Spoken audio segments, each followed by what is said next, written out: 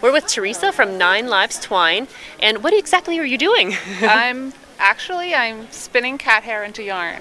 oh wow! So this is Moses, who is a 10-year-old black cat from Mm-hmm. eastern Vermont, and his owner's been saving brushings for nine and a half years. oh my! So this is nine and a half years worth of Moses brushings, believe it or not.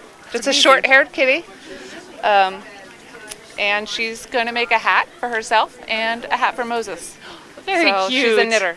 Yes. Um, I can make anything Also custom, ha- a lot of hats and So scarves, 81, 82, and 86. mittens, Long-haired cats stuffed animals, whatever the customer wants, I can- please. make anything custom. And then I do a lot of felting too. So I do portraits and meow memorials, which are needle felted replicas of kitty cats, and I can encase ashes in those for Oh, very you know, if your kitty passed away. So how do you prepare the fur before? So when I receive the fur, it's just important that it's not matted. Um, so if you're saving your hair for something like this, save it in cardboard or a paper bag, not plastic. Plastic tends to just mat hair, cat hair. Uh, so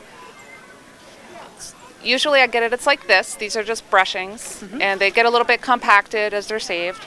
Um, but I have to open up the fibers, and I want it to be as, as fluffy as I can get it. It's almost like a like a cotton cloud is what I'm going for. So I'm basically just aligning the hair, separating it out, um, and creating more loft in it. Because the loftier the hair, uh, the better it'll spin.